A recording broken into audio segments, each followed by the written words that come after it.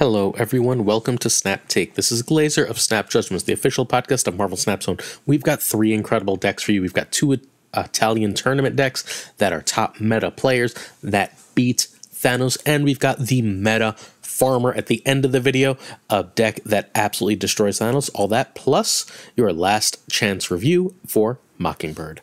We're going to get started by telling you about the Infinite Series. This is an Italian eight player tournament. It's what the Italians consider their eight best players. They're playing a round robin tournament.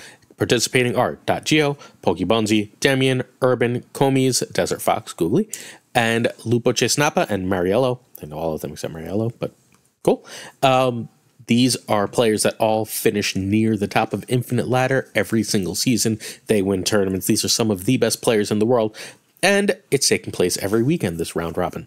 So we're going to get you every week exclusive decks from this tournament, from the best players, what they've been testing, what they've been playing. We're not going to show you things that are just known stuff. Um, most of the tournament this week was Thanos decks, along with two players playing Phoenix Force that won and beat Thanos, but it's the um, standard Nimrod version that we featured on the channel at least three or four times, so you know the deck. We're going to eventually just do a Thanos day for all, uh, sorry, a Thanos day, a Phoenix day for all the updated Phoenix Force lists. Have no fear. But you know, Phoenix Force lists, they run um, some cheap move cards, then some cheap destroy cards, Phoenix Force, Shuri, Nimrod. Cool. And then sometimes they run Taskmaster, sometimes they run um, Arnim Zola, etc., etc. They're all the same basic concept. If anything new comes, I'll be sure to let you know. But we've got two different decks. We've got decks that were both that both beat Thanos. These are Thanos killing decks, and I'll explain to you how and why we know that beyond that they literally both beat Thanos in the tournament so far. These are wider scale Thanos beating decks, as is the last one. The first is from LupoCheSnappa, who is currently the number 12 ranked player in Marvel Snap, and Comiz is the number 13 ranked player right now. So, you know, not as good as Lupo Che, except Comiz is also literally the world champion of Marvel Snap right now. So we've got two distinct decks from each of these players. Sub, you will get their decks exclusively here. Thank you to my Italian friends for providing the lists. All right, so LupoCheSnappa's discard tier zero. You know this list, or you should know this list. This list was going around a lot. Um, I believe, like the first person who had it was actually Den, our friend Den, over at Marvel Snap Zone. But it basically disappeared from the meta with the Lockjaw nerf, and it shouldn't have. This is still one of the best decks and one of the most powerful things to do, especially in Conquest, where you can basically ignore your bad draws and maximize your good ones. You can do that on ladder too, but it's sort of a feels bad when you have to retreat that much on ladder. Whereas in Conquest, you win so quickly when you do go off that the opponent can feel helpless, like there's nothing they can do. All right, so you need Corvus Glaive, and Pro- but Proxima can be either Black Cat or Wolverine. I personally prefer Black Cat in that spot. Um, otherwise, this is a full. Oh, sorry, you need MODOK. Sorry, um, MODOK should have been a series three cards so long ago that it always escapes my mind. The really old season pass cards that have been out forever are the ones that still get me. But either way, MODOK is utterly irreplaceable in this deck, as is Corvus Glaive. Proxima Midnight is replaceable largely with Black Cat. Good. Good. All right, so please go back to this list. Um, I know it's not in the meta right now. You there are cubes waiting for you if you play it. Turn one pass. Turn two Mobius over Colleen. Um, you'd rather have Colleen swarm than Mobius, but uh, sorry, Morbius, but sometimes you have Morbius. Turn three, you really want Corvus. You will also still Colleen Swarm. Colleen Swarm is a bigger priority than Corvus if you have Lockjaw in hand. Turn four, if you ramped and you still and you have MODOK and no Hela, just throw down a MODOK. You'll be perfectly fine.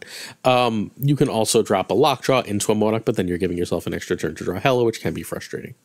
If you have swarms, Lockjaw with a swarm is absolutely stellar, or you can just drop Dracula and be safe. Turn 5, you've got Hela or MODOK, just like turn 4. You can also throw that second swarm into Lockjaw if you're there. Um, that's generally the play line. You can also just like drop a Magneto just fine if you played Corvus. Turn 6, Hela or MODOK and Swarms for Apocalypse Dracula. And Apocalypse Dracula with an empty Hela hand is the dream. This is such a strong deck. You really, really need to play it. It's got a thousand playlines. It will take a little bit longer than most Hela lists to learn because Lockjaw being four is awkward for it, but it is extraordinarily strong and extraordinarily consistent please hit that sub button. We bring you three exclusive decks every single weekday. We do seven days a week of videos here on the channel. We've got a two hour podcast with some of Marvel Snap's biggest and best personalities. This coming week, we're going to learn deck building from Ika and Yo Woody MJ. Last week we did custom cards and a look at data mines with Drewberry and Prashaun. We cover everything here. Hit that sub, watch for as long as you can. It really helps us grow. We're trying to get to 10,000. We're at like 9,560 last I saw, something along those general lines. Help us get those last 500 subs. Help, like, comment, share the video, whatever you can. We really appreciate it. All right, a pile of bones asked the most underrated and overrated card. So I think the most underrated card is Supergiant. Whenever I see a Supergiant deck and I play it, it wins. Um, I think Supergiant is especially strong in one particular discard list that Perry Manilow has been running. You can check out. Ooh, hello, cat. You can check out Perry over on um, At Perry Manilow at your leisure. He's basically he plays the deck all the time. It's a um, dock and discard list that runs MODOK. It's absolutely stellar. Um, Perry will also be on the podcast relatively soon the most overrated card. I run Supergiant, obviously. That's why I'm bringing that up. Um, the most overrated card is Shang-Chi. I keep hearing Shang-Chi needs to be nerfed. I think that that is a silly idea. Shang-Chi not only keeps the meta in shape, but good players play around Shang-Chi. Shang-Chi is a huge, massive threat if you're not playing right. You should always have Shang-Chi in the back of your mind. You should know what decks do and don't run Shang-Chi, and you should play for and against priority when you know your opponent does have Shang-Chi. That is what adds strategy to Marvel Snap instead of just slam down big point so I think Shang-Chi is extremely overrated, um, not in terms of impact on the meta, but in terms of goodness in top decks. Um, Jim Sharpneck wants to know how often I switch decks, and the honest answer is about every five or six games. I very rarely play more than five or six games with a single deck. I've got a lot of things I have to test for this channel, and I have all the cards, so I try and play as much as possible. You should not follow my lead unless you are a very experienced card gamer. I have a good set of fundamentals for Marvel Snap, but even then, the last deck today, the last deck today climbed from rank 200 to top five just by farming Thanos. I would need practice with that. I would need 50 games before I felt really comfortable with that. The discard list we just looked at, I can handle that and like now. I don't have to actually test to play that. So it depends what I'm testing. Um, the next two decks are much more Masters decks than the previous. And uh, Summer Jams wants a meta Dark Horse that can beat up on Thanos, which is funny you ask because that first deck usually beats Thanos, but these next decks, two decks, are built to straight up farm Thanos. They're hard to play, which is why you're not going to see them everywhere. But if you can master them, you beat the crap out of Thanos. If you'd like your questions read out in tomorrow's video, please leave one in the comments to this video. We're running a little short on questions, so if you have any, please drop them. All right, Comiz bounce and move. This is very, very, very similar to the uh, the Ragged bounce deck, bounce move deck that was top four in Worlds. That uh, Comiz beat. Actually, I'm 90% sure. Yeah, Comiz beat it. So this basically takes that deck and adds a little bit of tech. It says um, 2099 is nice, right? But Shang-Chi is just a better card, which is 2099's problem fairly consistently. Um, Mobius handles a lot of the Thanos nonsense, a lot of the Loki nonsense. Otherwise, Loki can just go so big. And Alioth says, um, well, it's fundamentally impossible to play around both Heimdall and Alioth in this deck. So playing this deck is going to take a lot of freaking practice. Move is the highest skill cap thing in the game of Marvel Snap. I'm completely convinced because you need to be planning for your space from like turn one. Um, generally speaking, you'd like to keep as much power mid and right as possible so you can threaten Heimdall whether you use it or not. If you get enough power, though, don't Heimdall play a Alioth. Your standard operating procedure here is get enough power by turn five. Try and have like one really, really strong lane, and one lane you're up a little bit on turn five. And then if that really strong lane is not Shangable, Alioth the other one. You'll usually win that way because your opponent has to play around both Heimdall and Alioth, and literally, it's just not possible to usually do both. Right. Alioth is spicy, you can make it Magneto, it's not as good. Ghost Spider is 100% needed, Mobius can be Rogue, and Comiz is ranked 13 right now and won the Snapfan World Championships and was like top 5 last season. Alright, so again, this beats Thanos. This beat Thanos all day in the Snapfan World Championships, which I'm assuming is why it ended up in Comiz hand for this Thanos-filled mini tournament. So turn one pass, generally speaking, you'll occasionally drop Iron Fist if you know you have something to play next turn onto it, but usually pass. Turn two is move cards. That could be Dagger, or you could start to um, get that Iron Fist set up now. Turn three is move card, and that could be, again, if you played a Dagger and they've been playing cards, that could be Cloak. Um, that could easily be, whatchamacallit, that can be um, Human Torch and Ghost Spider, whatever. So like there's so many combinations of those move cards. Remember, you're trying to get them to land mid and right. Turn four, one last move and bounce if you can. Generally speaking, I, prefer Ghost Spider and Beast here, but Ghost Spider and um, Falcon work just fine. Some um, you don't really want Cloak here, but you can again. Turn five, replay all the cheap move cards and drop a tech card. Whatever tech card you think is going to win. If they're a Sarah list, that tech card is Mobius. If they've dropped something big, that tech card is Shang-Chi. If there's an ongoing Fruit of Seal, that tech card is um, Rogue. You have an answer for all three, so pick whichever one makes most sense. Actually, is Rogue in this test? I'm losing my not Rogue. Sorry, it's Shang or uh, Mobius. I don't know where the hell Rogue came from. I'm thinking of the last deck. Excuse me. Um, Rogue is your replacement for Mobius. That's where my head went. So it's cheap move and a tech card, or just a bunch of cheap move. Cloak is really good. Making every game into New York, if you can play Cloak in an empty location, is really strong. Cloak also means you don't usually have to Heimdall, because you can basically guarantee a lane win with Cloak. Um, turn six is Alioth or Heimdall. Figure out which one your opponent seems like they're playing around based on their board position, and do the other thing. Cool. This is very hard to play, but an absolutely stellar deck. Try and keep uh, Dagger around nine power where possible. You can get it above that on the last turn. Vulture with one move is nine power, and Torch with two moves is eight power. So that's about where you want to leave them to threaten Heimdall. But if you get all three of those around a lane, you don't really need to Heimdall, right? Because they're so big that like you're winning that lane and then Alioth wins you the other. All right, last chance review for Mockingbird time. Mockingbird is a meta card. This is one of the best cards in Marvel Snap. Um, I think Mockingbird is a better card than Cull Obsidian, which was last month's best card. I think Mockingbird is a better card than anything released in January by like a fair margin, which means I think Mockingbird is the best card they've released in Marvel Snap since Blob. Cool.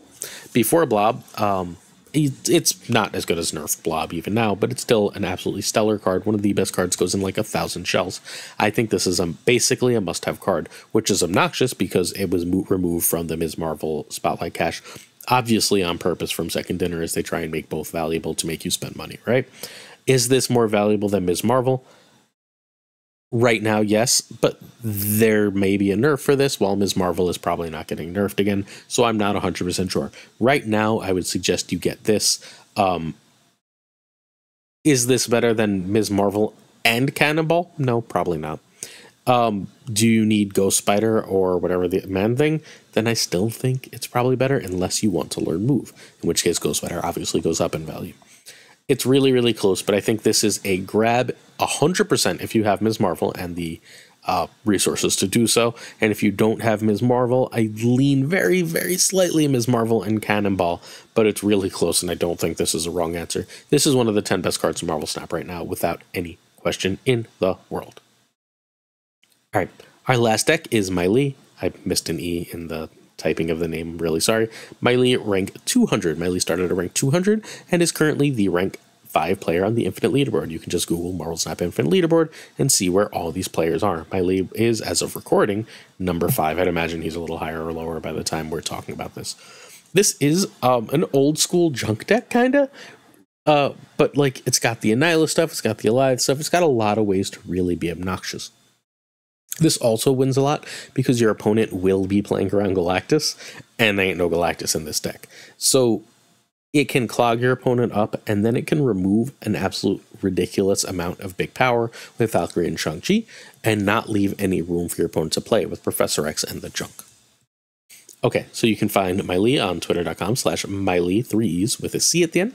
So Annie is needed, and so is Alioth. That should be Alioth, not Annie. Annie isn't needed twice, although it's very needed. Jeff can be Hobgoblin. These are Mylee's changes. I think you need Ravonna, but Mylee says you can try Rogue. I wouldn't play this deck without Ravonna, and I'm just going to take a quick look at why for you.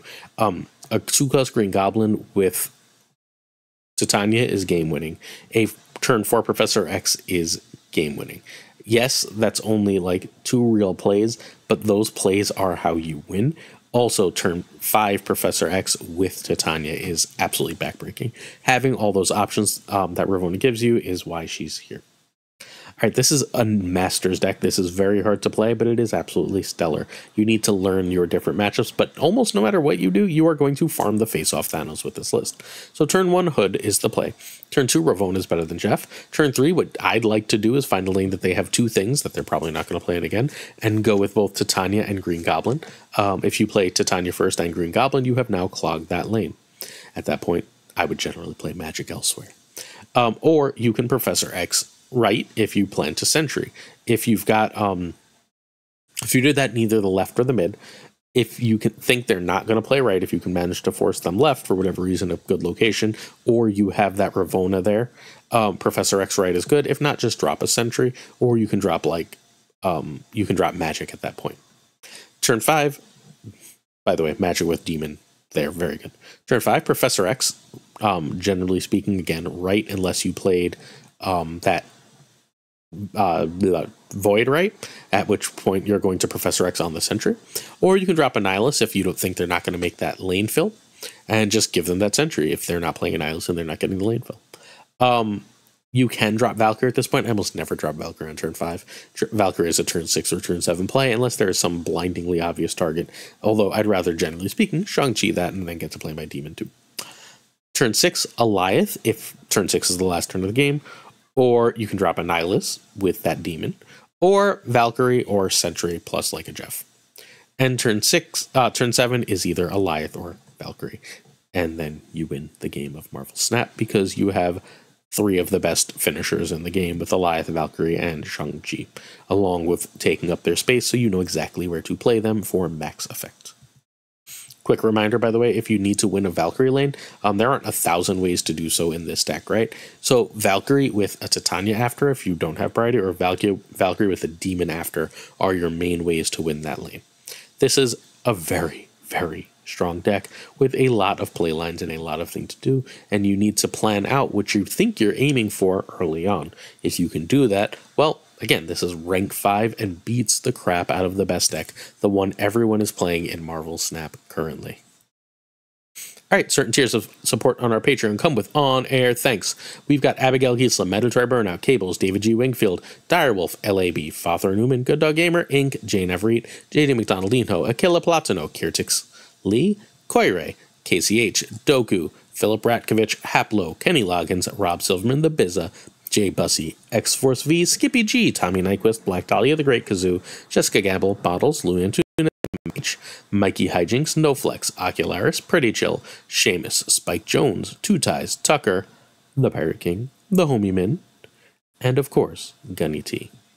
Thanks so much for watching. We'll be back tomorrow with a another great deck. I'm not going to leave you out with a full deck guide, but we're also going to take a look at Cannonball, and I promise I think I like Cannonball more than you do. If you are interested in supporting us more, check out our Patreon at patreon.com slash snapjudgments. But hey, if you made it this far in the video, we do one of these every day. Thank you so much. Please hit that sub button and help us spread the word. See you tomorrow. Ah, ow, fuck!